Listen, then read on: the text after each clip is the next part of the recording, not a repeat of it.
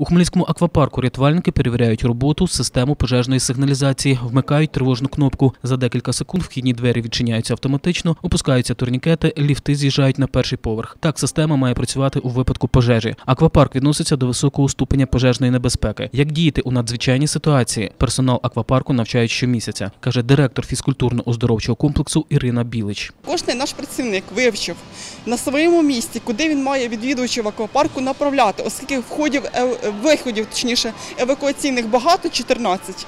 То кожен працівник має направити на найближчий вихід. Ольга Шумейко працює в аквапарку гардеробницею. Жінка каже, у випадку пожежі направлятиме відвідувачів до найближчого виходу. Нас об'являють, і люди з- всі йдуть в гардероб.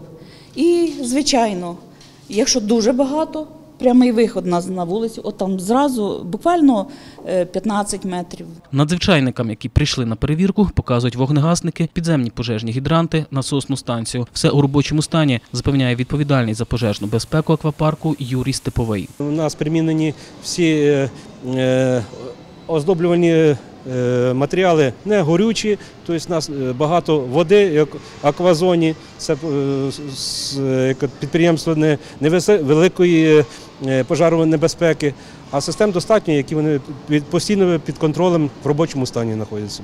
У центрі уваги надзвичайників, каже рятувальник Сергій Яцух, наявність засобів пожежогасіння та доступність шляхів евакуації. Незначні порушення були знайдені. Знову ж таки, е, на першому поверсі був частково захаращений один вихід.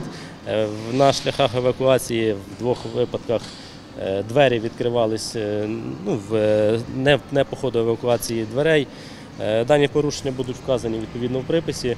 Перевірка також буде продовжена і в подальшому. Позапланові перевірки об'єктів масового перебування людей в Хмельницькій області триватимуть три місяці. За цей час рятувальники завітають до майже півтори тисячі шкіл, дитячих садків, будинків для людей похилого віку та торговельних і розважальних центрів. Юрій Курочка, Іван Мовчан. Новини Поділля Центр.